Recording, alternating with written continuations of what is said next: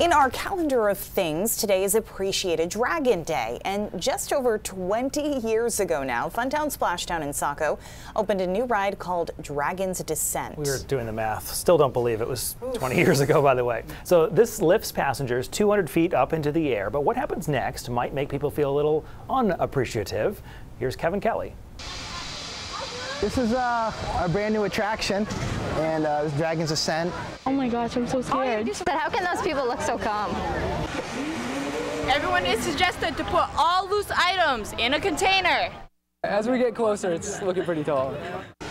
22 is quite high. Yeah. Really high up. Yeah, long drop. The nature of the ride is to give people uh, a feeling of free fall. No! Oh, whoa! So this is safe? Nobody's gonna die? Safe, I hope. Answer me! Goes up uh, 220 feet to the top of the flag. My mom would kill me if she found out I was going up that high. Oh man, I don't want to do this. I- I'm getting off, man. My hat is going like really fell. Uh, Breakfast might be back. Could be.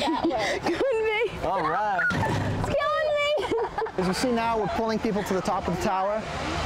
And when they reach the top, um, there's charged air that's going to charge and actually shoot people towards the ground at a rate of, uh, I believe, 40 miles an hour. Holy wow! I can see Gardner from here.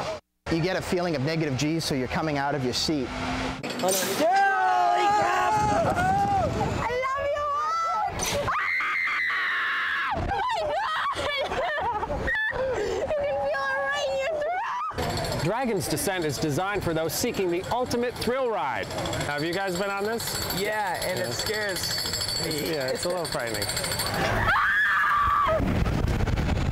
Oh, God. Oh my God. But should be reserved for those only with a steel stomach.